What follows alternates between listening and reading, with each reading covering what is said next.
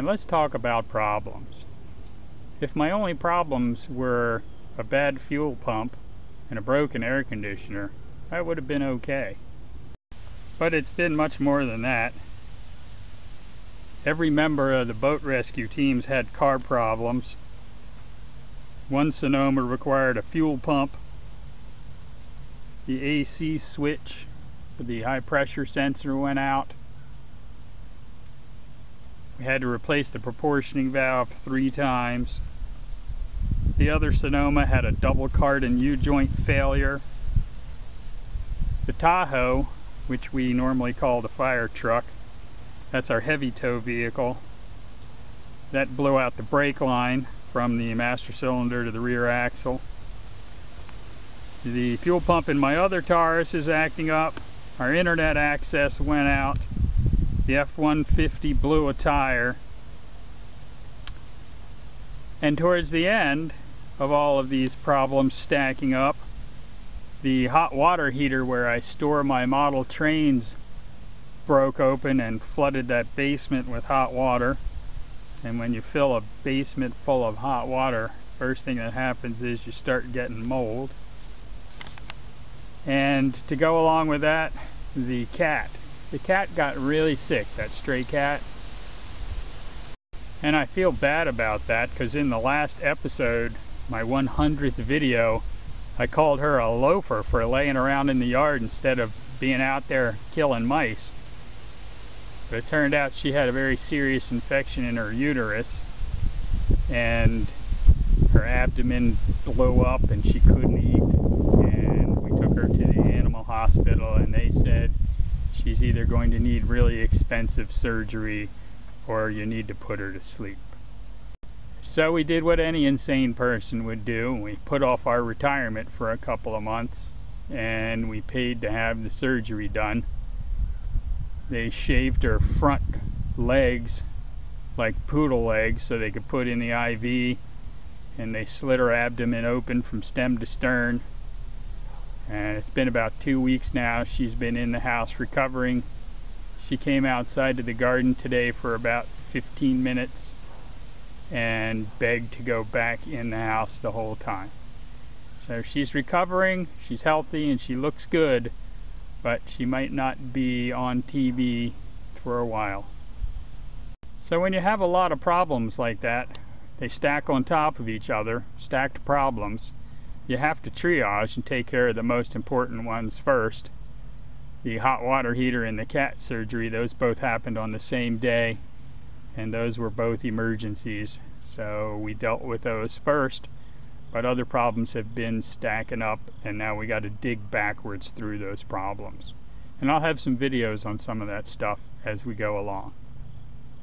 I mentioned before in August we had a lot of rain and the last week in August and the first few weeks in September were very humid. Ran 80-85% humidity day after day. All of my tomato plants got diseased and died off. So I'm converting over to my fall garden and I put in a new lettuce variety. This is called Red Sails that I got from Southern Exposure Seed Exchange. The seeds germinated in two to three days. The plants grew fast and they looked great until I put them out in the garden. And after a few days, the slugs came in and just started devastating the plants. I only planted half a square. I have more plants that I can replace some of the ones that are completely dead. But I did have to do something. At first I thought it was rabbits. So I put the rabbit cage over the plants to keep the rabbits out and that didn't make any difference and I started digging around the garden and I found slugs. So I've eradicated all the slugs. Well, I play a new game now called Slug Toss. I pick them up and throw them out into the parkland as far as I can. Slug Toss for distance. Uh, and I came around with espresso and sprinkled that around the plants. I've seen on the internet that you can use coffee grounds to deter slugs, so we'll see if that works. Uh, the plants look a lot better today than they did yesterday. So maybe it's having an effect.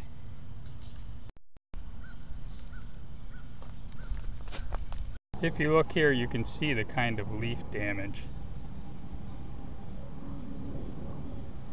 The plants do appear to be growing some new leaves, so hopefully they will recover. So I'm digging through my stack of problems, but occasionally you find a problem. It's really more than one problem.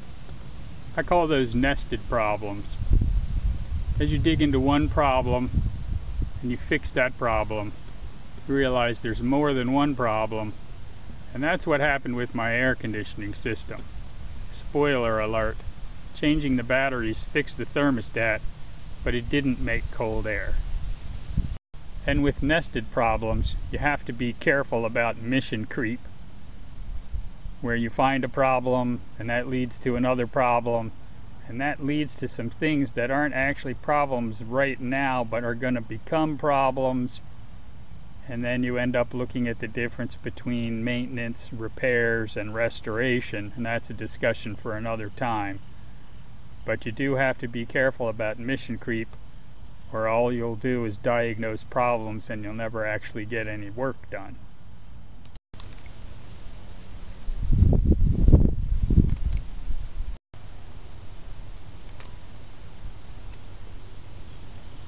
And then you've got self-induced problems like when you cross thread a bolt on a piece of machinery you're putting together or you over tighten one and shear it off and there's always the risk that something you can't fix will make you so angry that you just smash it up and you regret that later. All of those self-induced problems those are to be avoided. So triage your stacked problems. Avoid mission creep on your nested problems. And to avoid self-induced problems, be careful and patient. And when you're in over your head, don't be afraid to call for help from someone who knows how to do what you're trying to do. Someone who's done it before and who's willing to share their knowledge, tools, and expertise. So that's the way it is with problems. They start to stack up, and as my brother says, the hits just keep on coming. You have to triage the problems, work through the nested problems you find as you're making fixes, and the most important thing of all is to just stay motivated and keep working because it's easy to let those problems stack up to the point where you just feel like you can't do anything at all. But if you break the problems down into simple steps and you attack them one at a time, you'll make progress. Now let me get the rabbit cage back on these lettuce plants and hopefully that will be enough to get these to grow out. Turn off YouTube and get outside and make some stuff grow.